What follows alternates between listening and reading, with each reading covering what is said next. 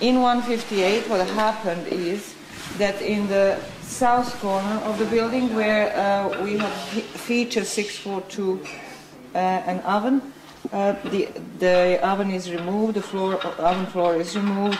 We removed also the, the edges of the base, so the rim, clay rim of the oven that was preserved uh, to some extent on the west, uh, west side and then very well on the east side.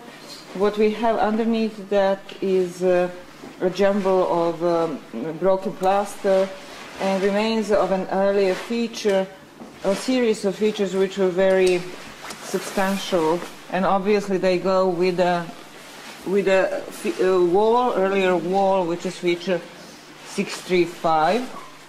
So the continuation of white plasters, then the corner, then some um, feature in the corner, like receptacle vessel of some sort, also nicely plastered. And the rest of it is just um, all sorts of things uh, mushed together. Uh,